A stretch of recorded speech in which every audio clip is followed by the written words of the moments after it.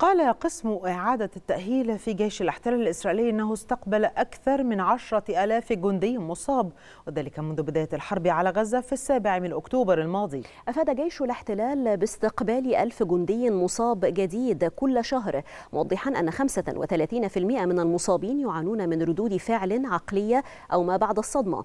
وبحسب معطيات جيش الاحتلال فإن أكثر من ربع المصابين يعانون من إصابات نفسية وأن 8 66% من المصابين هم من جنود الاحتياط و37% من المصابين في صفوف الجيش لديهم إصابات في الأطراف. ووفقا للمعطيات الإسرائيلية الصادرة عن جيش الاحتلال فإن 690 جنديا وضابطا من قوات الاحتلال قتلوا منذ السابع من أكتوبر الماضي.